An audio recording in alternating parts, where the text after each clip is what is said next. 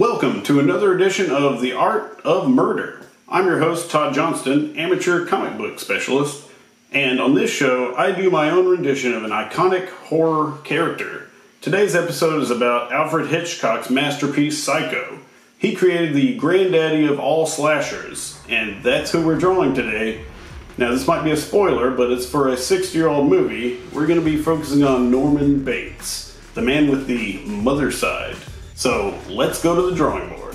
For this one, we're focusing on the shower scene where you see Norman Bates in mother mode in uh, silhouette for the most part, so that will make this a lot easier to draw and quicker. When you're doing sketches, that's always a good thing. So you pretty much just block this out real quick.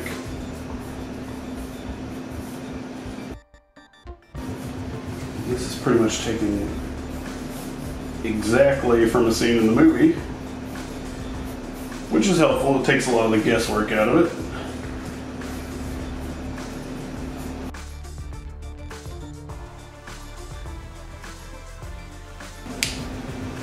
There's really no reason to do any of the background details like the door and the other stuff that's in the scene because for this I'm just going to do gray.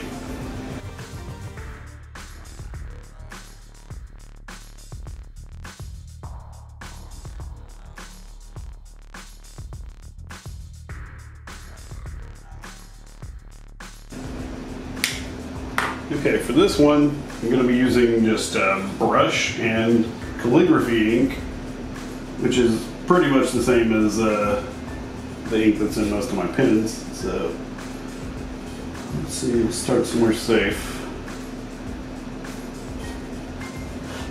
Now, this can get a little bit tricky because you don't want to get your hand in any of this because it will just, like right there, get all over the place. Yeah, big hurry.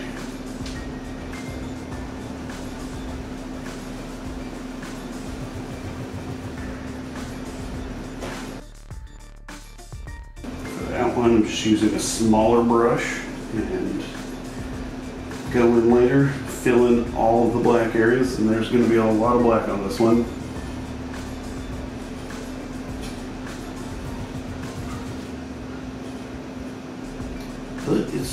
That's what it's all about.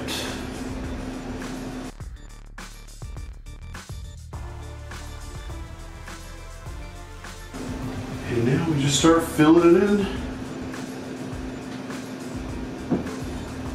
to a much larger gauge of brush.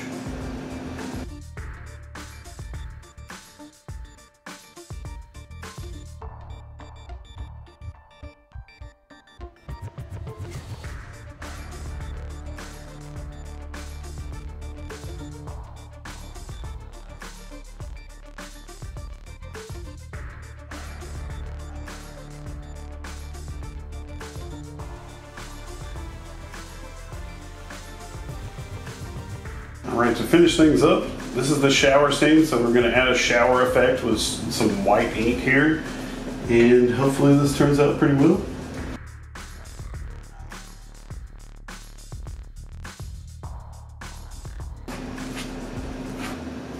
Okay, here's the final thought. I'm gonna add a signature